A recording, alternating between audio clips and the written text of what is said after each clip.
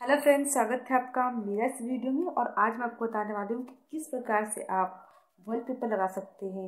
आप चाहे तो इसको प्ले स्टोर से डाउनलोड भी कर सकते इंस्टॉल कर सकते हैं। तो फ्रेंड्स चलिए शुरू करते हैं। आपको जो वाल वाल पेपर आपके मोबाइल पर होता है मैं उसी बारे में बताते हुई हूँ। ये पैनासोनिक के मोबाइल में इसे बता, बताऊँगी आपको। फ्रेंड्स आगे बढ़ने से पहले एक बात और मेंशन करना चाहूँगी कि आप चैनल को लाइक करें शेयर करें सब्सक्राइब करें और घंटी का ऑप्शन अगर उसको दबा दें ताकि हमारे आने वाले नई वीडियो का नोटिफिकेशन आपको मिलता रहे। तो फ्रेंड्स चलिए आइए शुरू करते हैं। इसके लिए आपको जाना है सेटिंग पर उसके बाद आपको जाना है डिस्प्ले पर। आप देख सकते हैं डिस्प्ले है।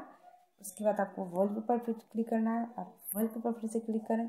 आप देख सकते तरह तरह के वॉल पेपर हैं। देख सकते हैं आपको जो पसंद है, देख सकते हैं आप इतने इतने खूबसूरत वॉल पेपर है, जो भी आपको पसंद है, देख सकते हैं आप, ये भी ये भी।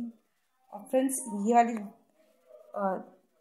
मैंने हमने डाउनलोड किया प्ले स्टोर से डाउनलोड कर रखा है। उसके बाद आप यहाँ यस पे क्लिक कर दें, आपका लग जाएगा।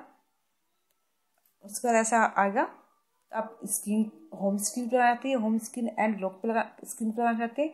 तो हम होम स्क्रीन पर लगाना चाहते हैं तो होम पे क्लिक कर दें।